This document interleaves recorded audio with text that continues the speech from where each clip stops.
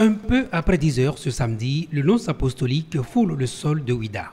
Avec les honneurs dus à son rang, le représentant du Saint-Siège au Bénin et au Togo est accueilli par le recteur de la basilique et le maire de Ouida pour le conduire devant le parvis de l'église où l'attendent déjà des personnalités dont la diversité renseigne à suffisance sur la symbolique de la cohabitation interreligieuse qui confère à Ouida sa singularité historique de par le monde. L'hétérogénéité confessionnelle de la foule qui vous entoure et qui vous accueille ici ce matin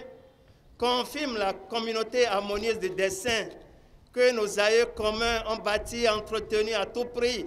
et qui a abouti à la construction de la basilique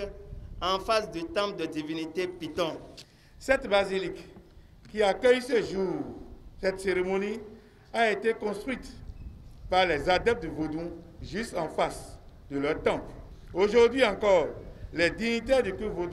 se sont déplacés pour vous accueillir. Des symboles forts qui confortent l'image de l'église de Ouida, fille aînée de l'église du Bénin, fière de recevoir le nonce apostolique, un peu comme ce fut le cas il y a 160 ans lorsque les premiers missionnaires accostaient sur les côtes béninoises pour annoncer la bonne nouvelle. 160 ans d'évangélisation que marque ici l'inauguration du mémorial par l'hôte du recteur Cosme Betty pour immortaliser par ailleurs son passage à Ouida. Ce site mémoriel qui se présente comme un mur de souvenirs, de contemplation, d'admiration de nos ancêtres dans la foi,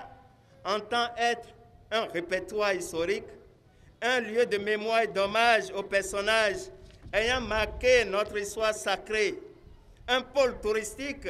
surtout une école d'enseignement de tolérance religieuse.